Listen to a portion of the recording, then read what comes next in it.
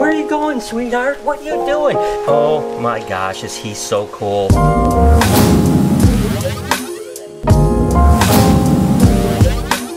Hey, good morning, everybody. Welcome to the vlog. I hope the start of your day is absolutely incredible. Today, it's mine and Lori's anniversary. Happy anniversary, Lori.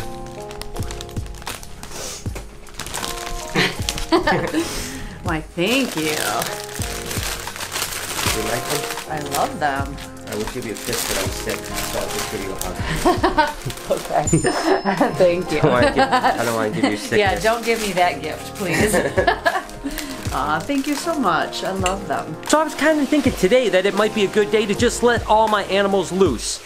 Well, not all of them loose, but give them a little bit of freedom. You know, we always let Elvis, the monitor, run around. I figured maybe I'll take Daisy out. We'll take a few other animals out and run around. What do you guys think? Uh, let's start with Daisy. I used to let Daisy out to kind of wander in the dungeon quite a bit, and then even sometimes bring her upstairs where she couldn't get herself in trouble and wander around there. Now that she has such a huge cage, I mean, even though she looks really big, look at how big her cage is. She certainly doesn't need that kind of stretching out. So I really haven't had her out as far as just wandering around Reptarium other than when people are here to actually look at her. So uh, let's just go ahead and take her out. We'll let her roam around, see what she does for a little bit. I have no idea. You know, she's not a super energetic animal to begin with, to be honest with you. But hey, let's pull her out.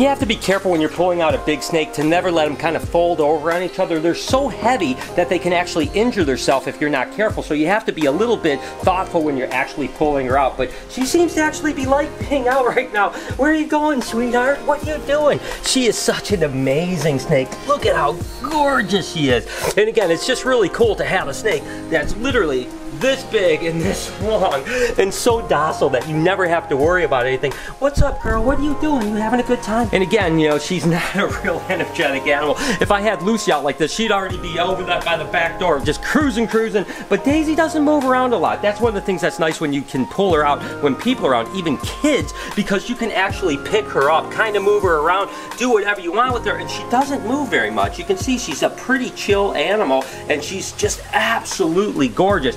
Mean, this is the snake that I think is really cool to pull out when the opportunity is right. And there's a ton of people here, we don't pull Daisy out just because, listen, she's still a 19 foot snake. But when there's 20 or 30 people, we can actually pull her out. Everyone can hold her. We can get five or six people and take pictures with her, you know, draped across all of them. So it's really a great ambassador animal to kind of show how gentle big snakes can actually be. Gosh, she's so gorgeous. Look at her.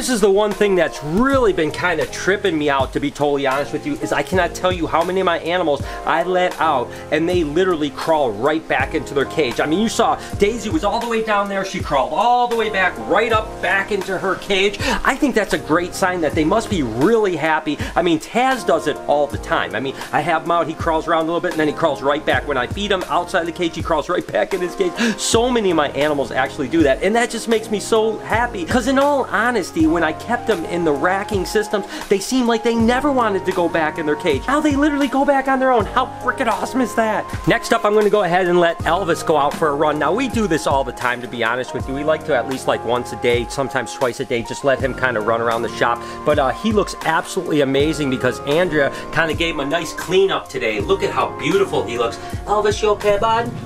You okay? Good boy. Good boy. You wanna come out? You wanna come out? You wanna come out? Come on. There you go. There you go, bud.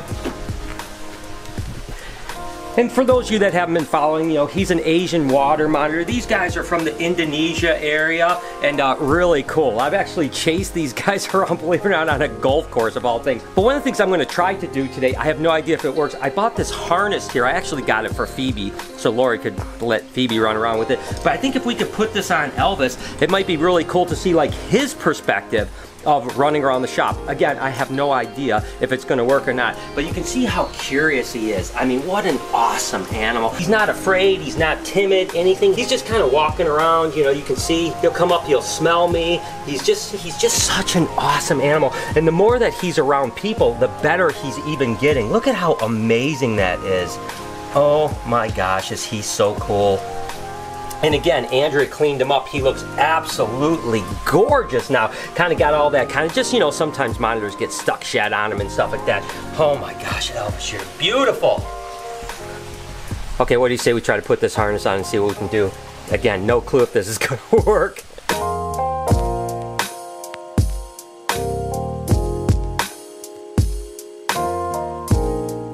Decided to abandon the harness because uh, honestly I don't want Elvis to get stressed out he definitely didn't seem like he liked it that much so rather than trying to force it on I just decided you know what let's just go ahead and follow him around with the camera see where he wants to go what are you looking at buddy you wonder is that Daisy up there is that Daisy? And that's the thing that's so amazing is he's so curious, you know, and actually this is kind of interesting. Daisy is looking this way. Elvis is looking that way. What are you looking at, Elvis? What are you silly? Oh, Elvis, you're so funny.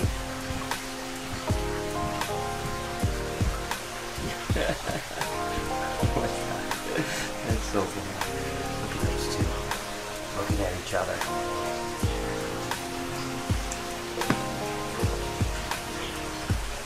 Again, I think that's what's so interesting about Elvis and monitors in particular is just how intelligent they are.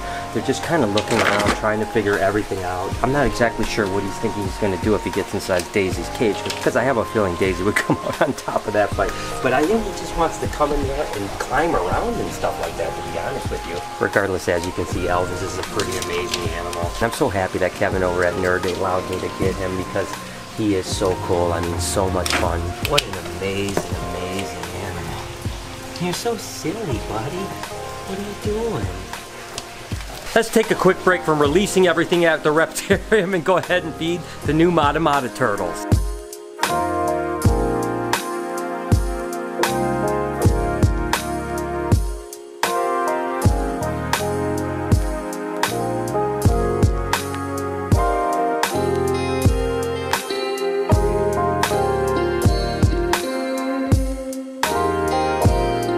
Well, since it didn't work to put the harmonist on Elvis, I thought maybe we would try it on Taz. He's certainly a lot more mellow, doesn't seem to be as upset, but if it doesn't work for Taz, that's completely fine. Again, I'll never stress out my animals just for entertainment purposes, but if it's something that's cool, we'll do our best we can do. So let's give it a shot with Tazzy. Again, I'll put it on him. If he seems stressed out, I'll take it right off, and then we'll just follow him around. Regardless, I love the fact that we can let our animals kind of explore the place a little bit. A lot of these guys do it all the time anyways, because they come out while we're open, and even on the off days, we let them out to kind of roam around. So let's see if we can get Taz.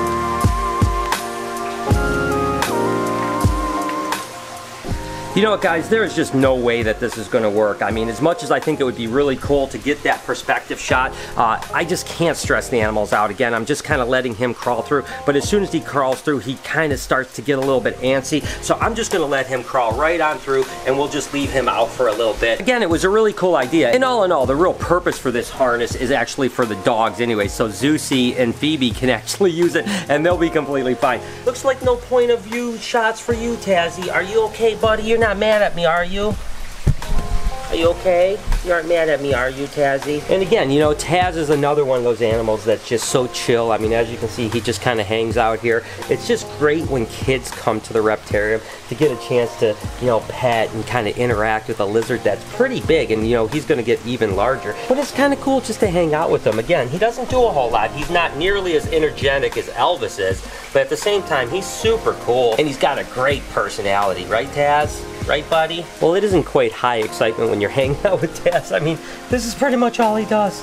But that's what makes him so incredible, right, buddy? All right, what do you think about trying to let Nova out? I have no idea. I've never let Nova out before. Might be kind of interesting. Let's give that a shot. Like I mentioned, when it comes to Nova, I have no idea how he's going to react. He might just sit here. He might run. He might do anything. He loves his cage. And even when I take him out, he usually jumps back in his cage. So I don't think he needs to run around or anything, but it might be kind of interesting just to see what he does. What do you say? Nova, you want to come out? Oh, come on. Don't be a silly monkey. Okay, so here we go. Nova, you want to go? What do you want to do? Nova, what do you want to do, bud? Oh, jeez. Nova, where are you going, buddy? You don't, do you not like it outside? Oh my gosh. No, but it's okay, it's okay, it's okay, it's okay, it's okay. Like I mentioned, it doesn't seem like Nova likes it outside. I think he likes his cage. I mean, I'll just go ahead and put him back. You wanna go back in, bud? There you go. There you go, sweetheart. Again, I never want to stress the animals out. I'm just kind of messing around a little bit and seeing if they want to run around. If they want to run around, I thought, you know, if Nova wanted to run around, climb a tree or something like that, I think it would be awesome. I would totally let him. But it seemed like he was just kind of stressed out. He's just trying to get away. I don't want that to happen with these animals. So cute. Oh my gosh. I love when he runs like that, where he goes like, doo, doo, doo, doo. But we have a really amazing bond. One of the things about the Reptarium that's really cool is that, you know, we're starting to get this kind of relationship between the animals. They know when they're safe area is where I won't touch them. If they get to an area like if Nova goes way up there at the top, I'm done. I will not take him out. He knows that. So that's kind of his safe area. Same thing with Bella. She goes into a specific area where if she goes there, she knows I'm not going to take her out. I'm not going to pet her. I'm going to leave her alone. We're trying to kind of create that kind of relationship with these animals so that they know when they're willing to come out and willing to experience that, we let them do it. But if not, we just leave them alone. Right, Nova? You're okay, buddy. It's all right, buddy, buddy. With the fail of Elvis and then Taz with the harness, I know one animal that doesn't mind having a camera on it. You guys know this. It's going to be Speedy Cam. That's right. We'll go ahead and tape a GoPro on Speedy. And while we're at it, we might as well tape a camera on Savvy next door. We'll let them run around for a little while and get their point of view. Uh, that's always a lot of fun. And there are times where I'll let Speedy just out in the crowd when it's open at the Reptarium. It's really funny because people are like, is that a tortoise? So let's go ahead and get Speedy Cam going.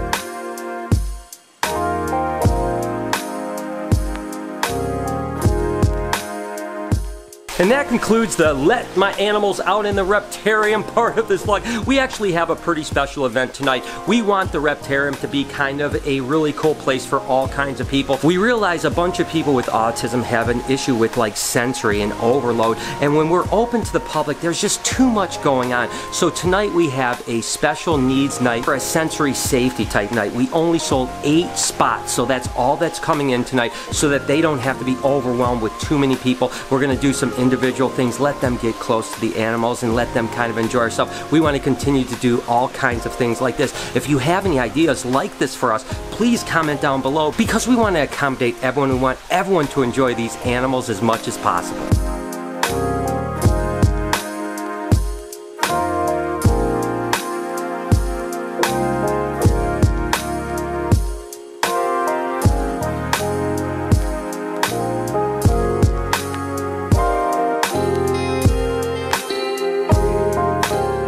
Just wrapping up the special event, I think it went really well. I think I was really happy. It was cool to have kind of a smaller group. The kids were really cool, really into it. So this was this was absolutely awesome. But of course, like I mentioned, it is our anniversary. So we're about to go out for an anniversary dinner and we're not taking you guys along.